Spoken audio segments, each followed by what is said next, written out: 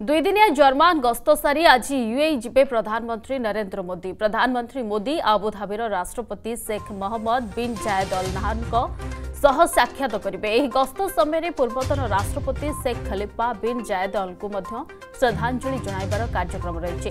ଏହା ପୂର୍ବରୁ ସୋମବାର ଜି ସେଭେନ୍ ସମ୍ମିଳନୀର ଦ୍ୱିତୀୟ ଦିନରେ ପ୍ରଧାନମନ୍ତ୍ରୀ ଭାଗ ନେବା ସହିତ ବିଭିନ୍ନ ରାଷ୍ଟ୍ରର ମୁଖ୍ୟମାନଙ୍କୁ ଭେଟି ଆଲୋଚନା କରିଛନ୍ତି।